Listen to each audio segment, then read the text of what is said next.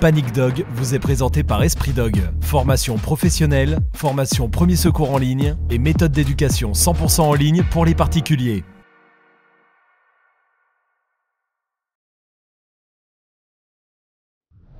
Tous les ans, le constat est accablant. En France, un chien est abandonné toutes les 8 minutes, dont la moitié pour des problèmes d'éducation et de comportement. Pour cette raison, je forme chaque année des dizaines d'éducateurs canins. Malheureusement, beaucoup n'ont pas les moyens d'éduquer leurs chiens. C'est pour ça que j'ai créé une méthode d'éducation en ligne pour tous les maîtres. Mais pour les cas les plus difficiles, un professionnel doit se déplacer. Pour Panic Dog, je vais à la rencontre de ces maîtres dépassés et en détresse pour leur montrer que rien n'est jamais fini et qu'il n'est jamais trop tard. J'ai décidé d'intervenir chez eux, dans leur environnement et sans matériel pour qu'ils puissent s'en sortir seuls après mon départ. Je m'appelle Tony et je suis éducateur canin.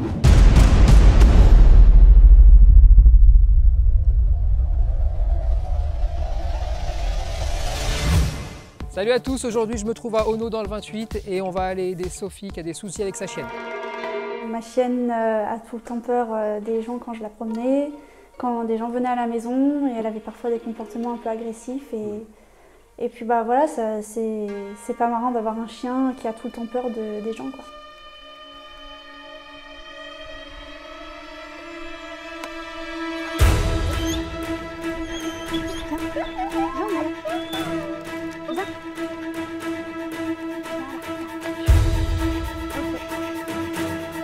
En général, je la détache uniquement dans la forêt, là où je sais que si jamais il y a un problème, elle n'ira pas se mettre en danger. Une fois, je l'ai emmenée en ville, euh, ça a été tout simplement une catastrophe. Elle a cassé son collier, elle, a- elle s'est fait pipi dessus. euh. J'ai cru qu'elle allait s'enfuir. Et, mais bon, elle était prête à s'étrangler, hein, elle toussait et tout ça.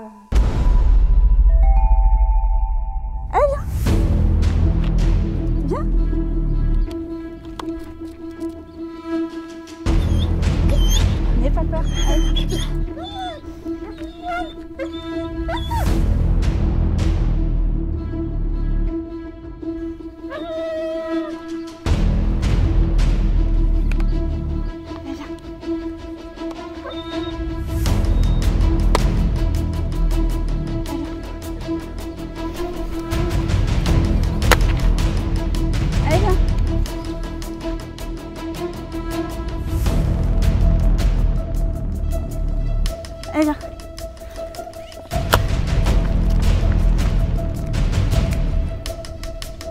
Du coup, j'appréhende en fait à chaque fois que je rencontre quelqu'un, j'appréhende.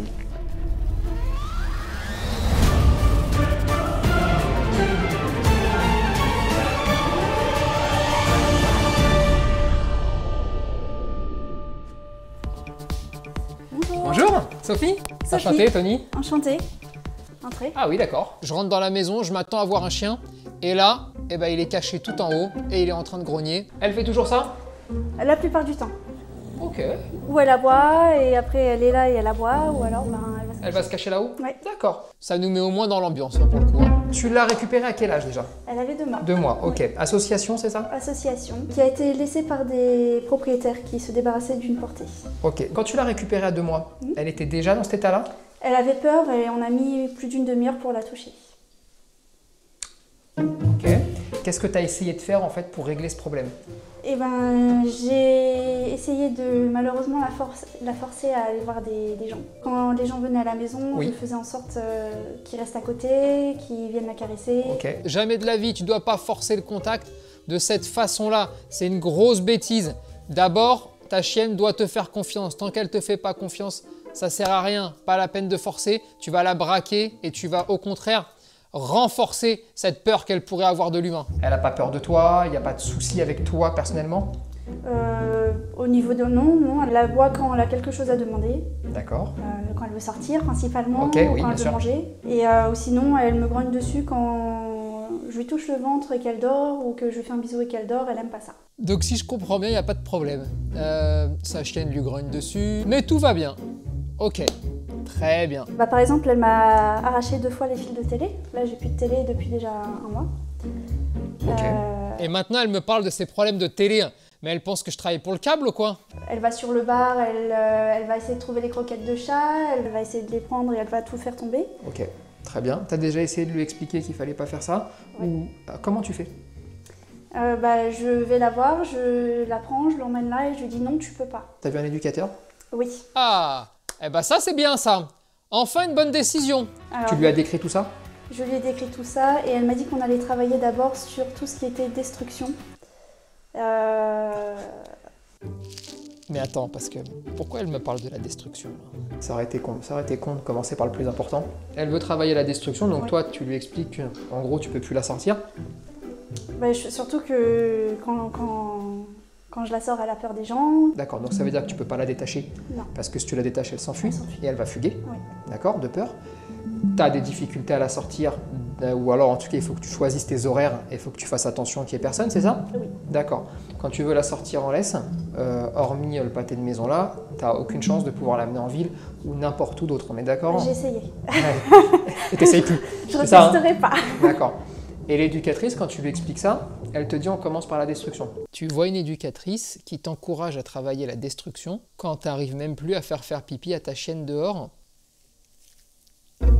Sache une chose, Ouais. la destruction, Ouais. tu ne la régleras jamais si tu règles pas le problème de peur. D'accord. Je te le dis tout de suite. Au premier abord, je suis assez étonnée parce que je pensais que c'était deux problèmes séparés. Elle est peureuse, elle est anxieuse, elle n'a pas confiance en toi, elle n'a pas confiance dans la vie, elle a donc pas confiance dans les humains. Le jour où tu enlèves tout ce, tout ce côté anxiogène, à ce moment-là, on pourra reparler de la destruction. Je vois qu'elle a pas mal de petits jouets euh, au sol, tout est à elle là? Oui, oui, oui. Ok, tu lui en laisses tout le temps à disposition? Oui. Très bien, quand t'es là et quand t'es pas là? Quand je suis là, quand je suis pas là. Quand t'es là, elle fait des bêtises? Euh, non, rarement, non. Elle en fait jamais? Non. Quand t'es pas là, elle fait des bêtises? Oui. Alors la première chose à faire, tu enlèves tous les jouets quand tu es là, parce que tu vas la pousser à s'ennuyer. Et si elle s'ennuie, elle va faire des bêtises. Et si elle fait des bêtises, tu vas enfin pouvoir la prendre sur le fait. Oui. Parce que quand tu la disputes 10 minutes après qu'elle ait mangé les croquettes de chat, et que tu l'amènes jusqu'aux croquettes et que tu lui montres, tu sais ce qui se passe? Tu es simplement en train de lui dire, la prochaine fois, j'aimerais bien ne même plus voir le support. Et oui, D'accord. et à aucun moment elle comprend que ce qui t'a gêné, c'est le fait qu'elle monte sur le plan de travail pour les manger. Les fils de ta télé, si tu veux avoir un jour l'espoir de retrouver une télé avec des fils qui va durer plus de deux jours, eh ben c'est pas compliqué. Si tu la chopes pas sur le fait et que tu lui indiques pas qu'elle fait l'erreur au moment où elle commet l'erreur, tu n'as aucune chance. Pourquoi? Parce que tu as aussi besoin de lui trouver un plan B. Mhm. Et à ce moment-là, tu vas aller chercher un jouet qui est rangé et tu vas lui donner. Et c'est là où tu vas lui dire tes jouets, t'en fais ce que tu veux, mais tout ce qui m'appartient, personne n'y touche. Euh, L'éducatrice, juste qu'est-ce qu'elle t'a dit pour la destruction? Comment tu. Elle m'a dit que c'était dû à un attachement profond en moi. De l'hyper-attachement Mais attends, euh, je me suis peut-être trompé de maison, hein, parce que là, il y a un problème. hein. Je pense que c'est le moment où Sophie, maintenant, elle va devoir entendre ce que j'ai à lui dire, parce que ça suffit. Dans ton cas, pas du tout. Si elle était si attachée à toi, d'accord? Là, on parle d'attachement canin, hein, Oui, oui. d'accord? Si elle était attachée comme elle le décrit, tu sais ce qu'elle ferait quand elle a peur? Elle viendrait là, entre tes jambes. Elle se collerait à toi et en fait, elle attendrait ta réponse. D'accord Qu'est-ce qu'elle fait quand elle a peur Elle s'enfuit. Bye bye. T'as l'impression qu'elle est attachée Non. Non, parce que là, elle prend la fuite. Bon, les pincettes, c'est pas vraiment ma plus grosse qualité. Hein. euh. Moi, j'aime bien les gens qui s'en cachent. Je sais que je suis pas, je suis pas parfaite. Je sais que je fais des erreurs. Je sais pas forcément lesquelles et je sais pas me corriger. Et Tony, c'est vraiment de quoi il parle et euh, je me suis dit, euh, quitte à me rentrer dedans, au moins je ferai plus l'erreur. Qu'est-ce que t'as mis d'autre en place? Et ben, je cache tout. je cache tout. Et elle continue avec la destruction. Donc là, ça fait maintenant 20 minutes que je suis chez Sophie. Et en fait, j'ai toujours pas compris ce que l'éducatrice lui a demandé de mettre en place. Ce serait bien quand même qu'on rentre un peu plus dedans là. hein. Euh, bah, C'était principalement euh, faire du détachement, sortir 5 minutes, voir comment ça se passait en la filmant, jusqu'à ce qu'elle angoisse moins. En fait, bah, je passerai à 10 minutes et ainsi de suite. Aujourd'hui, c'est toujours à 5 minutes. Alors attends. Ah ok, ouais c'est une bonne idée, en plus ça sert vachement. Filmer sa chienne en train de bouffer la télé, euh, comme ça au moins tu peux te repasser le film. Et puis ça te rappelle aussi que t'avais une télé à une époque. Si je comprends bien, elle t'a dit qu'il fallait qu'elle apprenne à rester seule, hein, c'est la solitude en Ouais. fait qu'elle veut bosser. hein. Donc là, elle t'a dit, ok, on va recommencer depuis le début, Euh, tu sors 5 minutes, Mhm. le jour où elle te défonce pas la maison en 5 minutes, eh ben, ça passera à 10 minutes, 15 minutes, on est d'accord. Donc en fait, plus tu vas attendre, plus elle va détruire. Oui, Parce qu'en fait, tu la regardes 5 minutes, elle monte, elle monte, elle monte en tension. Et puis tout d'un coup, tu vas arriver à un point de rupture. Et là, elle va te choper le canapé ou elle va te choper un Ouais. truc. Ok, j'ai compris. Très bien. L'éducatrice qui t'a conseillé euh, est en attente d'un miracle. C'est-à-dire que là, tu vas brûler un cierge et puis tu vas attendre que ça se passe. Pourquoi moi j'attendrais pas le miracle non plus? Vous savez, le. Bon bah, va-t'en et puis on verra bien ce qui se passe. Là, je vais craquer. Il va falloir quand même mettre des choses en place. À un moment donné, si tu veux te mettre, et après on arrêtera pour la destruction, parce que je te le dis, tant qu'on n'a pas réglé le problème du haut, Ouais. on est foutu. Mais si tu veux avoir un espoir que ce qu'elle te raconte fonctionne, petit 1, tu la sors. Tu lui fais faire une demi-heure, trois quarts d'heure de balade. D'accord? Petit 2, tu vas la fatiguer un peu mentalement. Alors tu peux faire des jeux d'occupation, tu peux l'adresser un petit peu, tu peux lui faire un peu de pistage, tu peux lui faire des toutes petites choses euh, vraiment à, à tout petit niveau que n'importe qui peut faire dans son intérieur. Dépenses physiques, dépenses mentales. Tu lui vas lui donner deux ou trois jouets à disposition. Mais pour que ça fonctionne, il faut rarifier le bien. Donc c'est pour ça que je te demande aussi d'enlever les jouets, parce qu'ils n'ont plus d'intérêt pour elle. Une fois que tu as fait ce cercle un petit peu parfait, alors tu peux t'absenter 5-10 minutes. Quand tu reviens, tu ouvres la porte, tu rentres tranquillement, pas forcément d'effusion de joie, salut ma fille, hop, et tu avances, d'accord? Si elle a fait des bêtises, tranquillement, tu attends une ou deux minutes, et puis tu vas enlever les bêtises, et tu vas les jeter à la poubelle. Et tu souris, et ça veut simplement dire que là, il y a un axe de travail. Si tu la disputes en revenant, si tu lui montres la bêtise, si tu vas la chercher en disant T'as vu, c'est pas bien ça, hein? T'as vu les croquettes? Elle va commencer à stresser de ton retour. Parce qu'elle va se dire à chaque fois qu'elle part, quand elle va rentrer, elle va m'engueuler. Mais elle sait pas pourquoi. Donc ça ne règle rien, au contraire, ça accentue le problème. Par chance, j'ai les yeux qui traînent partout et j'ai enfin vu quelque chose qui, moi, peut m'être utile pour l'énorme problème qu'on a là-haut, à savoir la peur de sa chienne qui est toujours pas descendue et qui continue à grognoter de temps en temps dès qu'elle en a envie. Ça, c'est tous les jouets de la chienne Euh, oui, sauf la poupée, c'était la, la poupée de ma fille. Très bien. Je me séparer. D'accord. Et donc, en fait, je suppose qu'un jour, elle te l'a prise. D'accord. Et quand elle te l'a prise, tu t'es dit, bon, bah tant pis, foutu pour foutu, je lui laisse. Oui. Très bien. Là, tu es sur une étape où tu es en train de te résigner. Elle est en train de t'apprendre ce que tu devrais lui apprendre, c'est à renoncer. Sauf que là, c'est elle qui t'a contraint à renoncer. Et tu es en train de renoncer à tout. La poupée, si elle n'est pas à elle, effectivement, on pourrait se dire, on s'en fiche. Bah, foutu pour foutu, autant lui laisser. Ouais. C'est une énorme erreur parce que si tu lui dis ça, tu lui mets aucune règle, tu lui indiques pas ce qu'elle peut et ce qu'elle ne peut pas faire. Résultat, bah, qu'est-ce qui l'empêcherait de te manger ta chaise? Parce qu'elle va commencer la chaise, qu'est-ce que tu vas faire? Tu vas lui laisser? Et le jour où elle va commencer à manger la table, bah, tu vas lui laisser aussi? Et en fait, tu lui apprends jamais que peut-être que parfois dans la vie, il peut y avoir des limites. Juste un cadre de vie. Putain, c'est hyper dangereux. Ça, si elle t'avale les cheveux, c'est vétérinaire. Hein? Ouais. Ouais. Je lui dis que son chien peut mourir et elle me dit ouais. Elle part du principe qu'elle prend les décisions par elle-même. Elle ne les prend pas chez toi, les décisions. Elle ne te regarde jamais, ta chienne, quand elle est en difficulté. Ouais. Et ça, c'est embêtant. Parce qu'elle part du principe que tu es aussi super sans règles. Et donc, elle se dit, bah, quand je suis en galère, je peux pas chercher l'info chez ma maîtresse. Donc, je vais utiliser ce qu'on appelle le libre arbitre.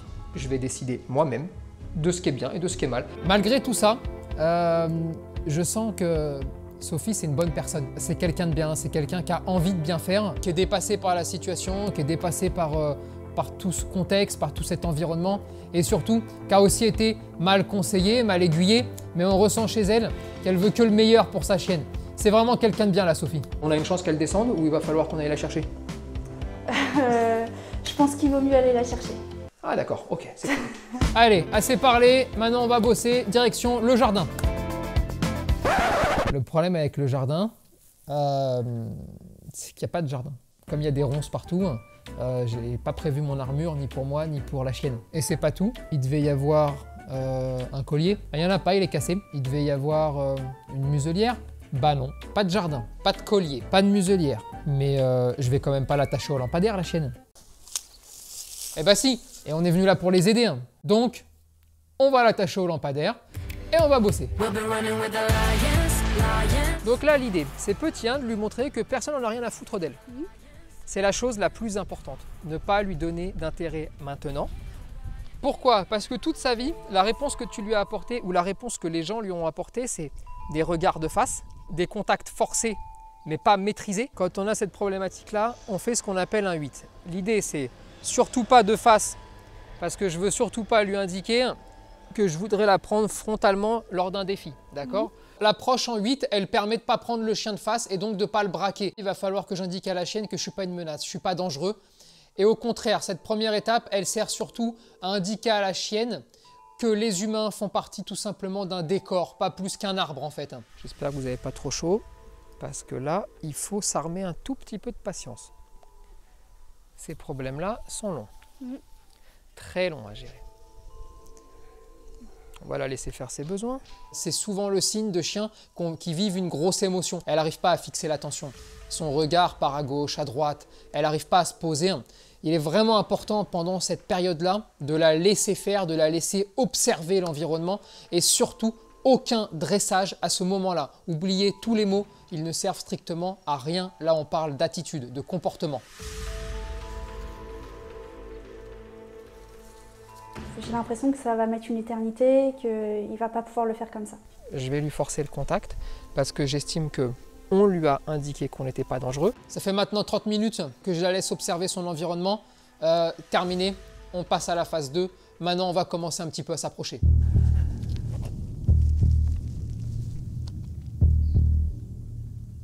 Je sais. Tu viens?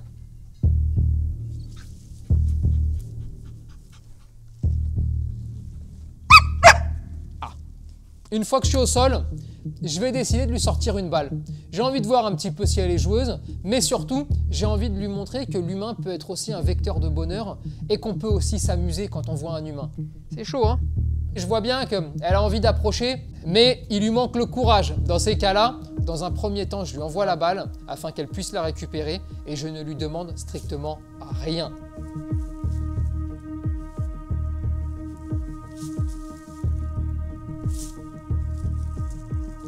On est bien, hein Là, je te le dis, on, on est vraiment bien ici. hein. Euh, on est vraiment là sur un moment de communication où tout ce que moi j'ai envie de lui dire, c'est je ne suis pas dangereux pour toi, je ne suis pas une menace, mais en plus de ça, je peux aussi être quelque chose de positif pour toi. Et tu verras à la fin que je serai aussi la personne en qui tu devras avoir confiance. Allez.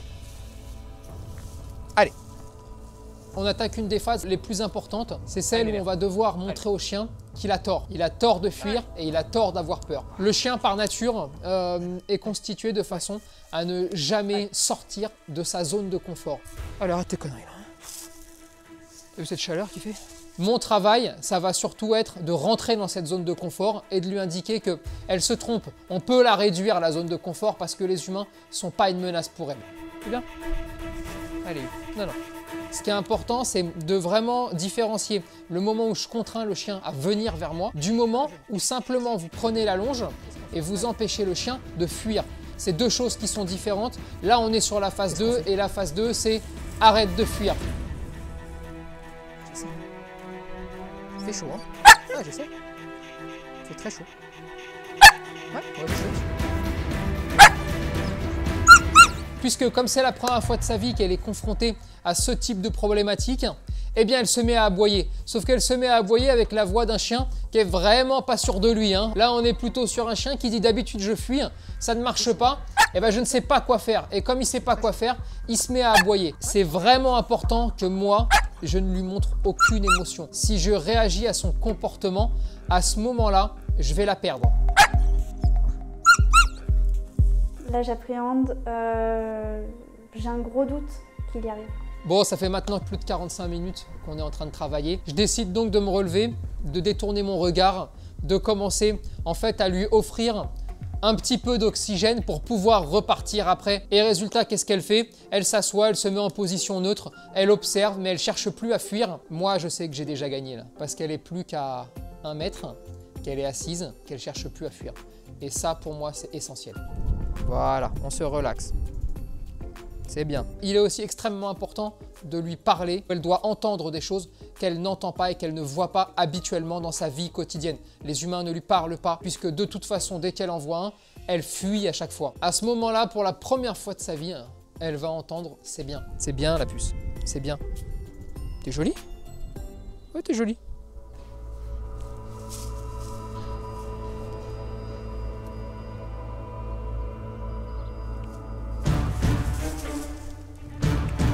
Fini la respiration, on rattaque le travail et là cette fois-ci c'est la partie la plus compliquée.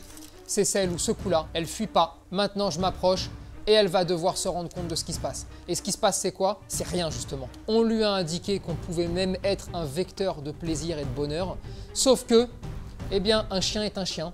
Et quand il a peur, eh bien, il ne veut pas qu'on rentre dans sa zone de confort.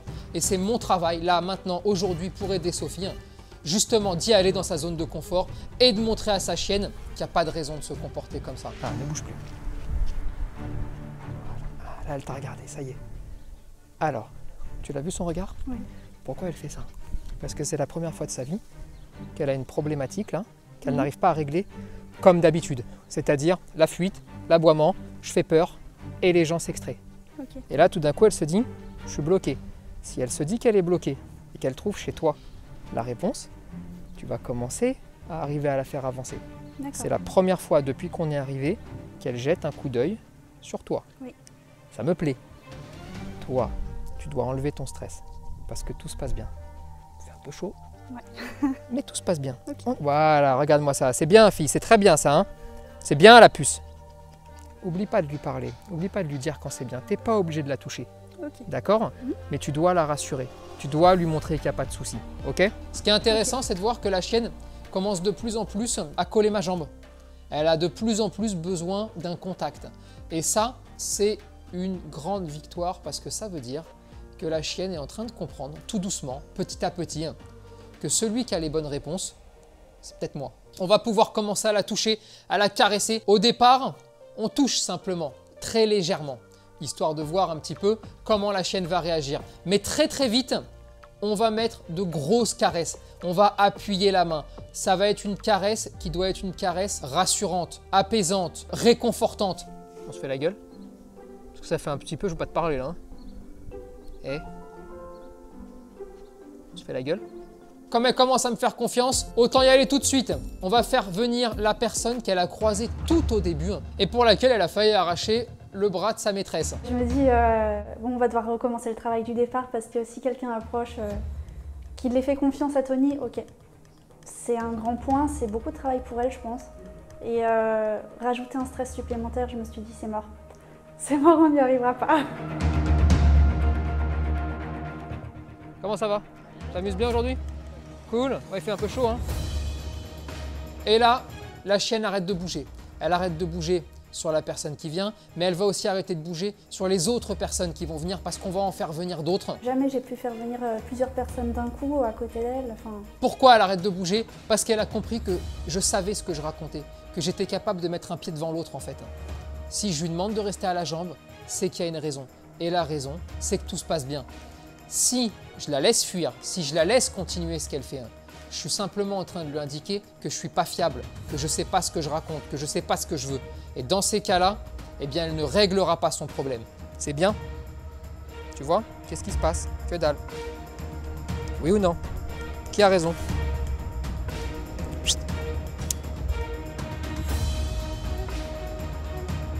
Et là, elle m'offre la plus belle des réponses. Elle ne bouge pas, mais surtout, elle fait ce que je veux depuis le début, sans jamais rien lui demander. Elle se couche.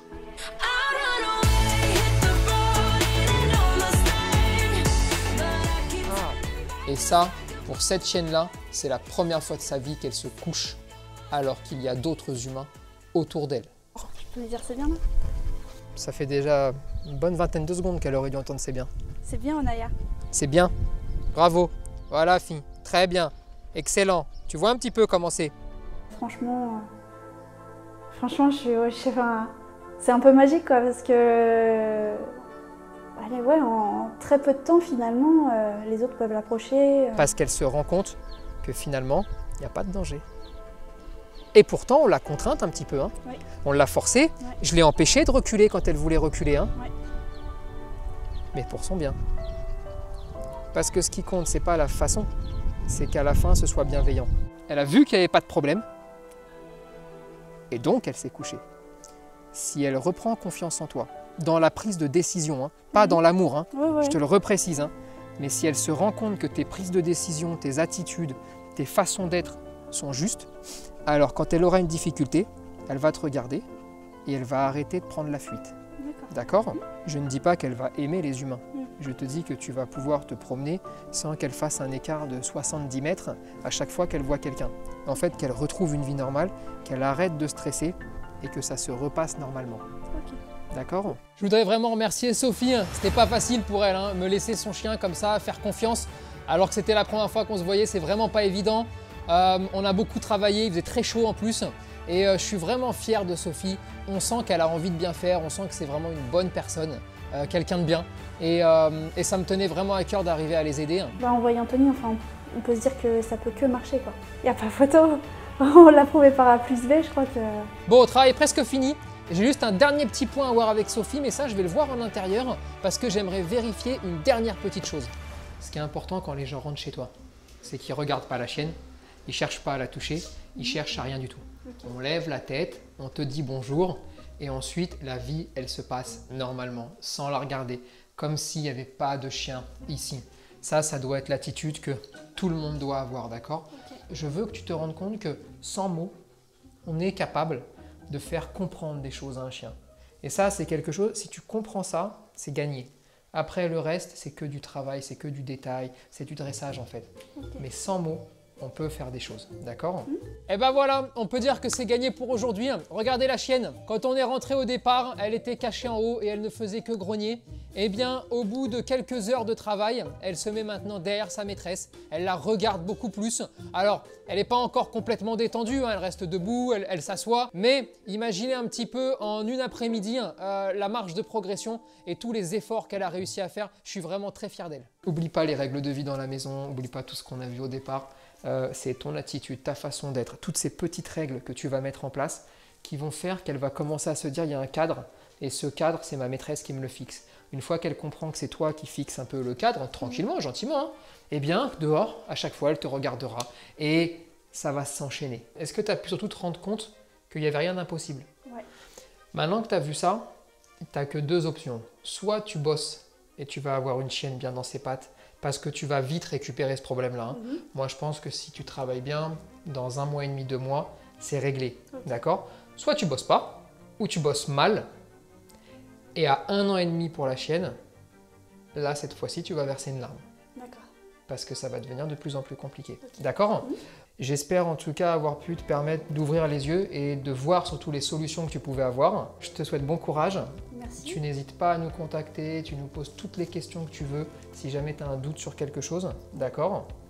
Et puis bah, merci pour tout et merci pour ton accueil. C'est moi qui vous remercie. euh, et puis bah, on va travailler, hein, c'est parti. C'est cool. Moi, je suis totalement confiante parce que j'ai confiance en ma chienne. Peut-être plus qu'elle, elle a confiance en moi aujourd'hui. Mais euh, je sais que je sais qu'avec du travail, ça va le faire.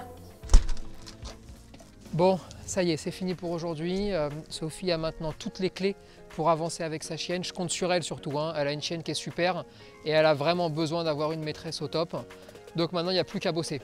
Et bien évidemment, on va prendre de ses nouvelles. Bonjour, je vous fais quelques petites euh, vidéos quand je promène Onaya. Bah, c'est super, elle fait des super progrès, euh, on peut se promener sans qu'elle réagisse. Les promenades sont un vrai plaisir. Merci Tony et merci Esprit Dog. A plus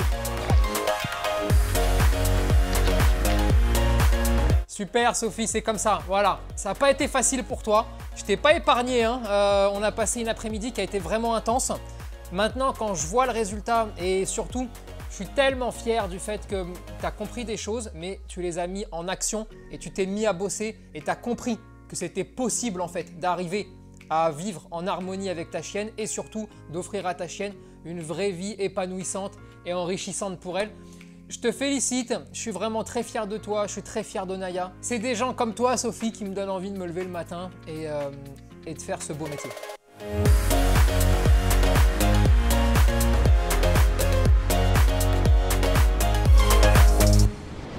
Je vais être honnête, j'ai un peu peur tout le temps.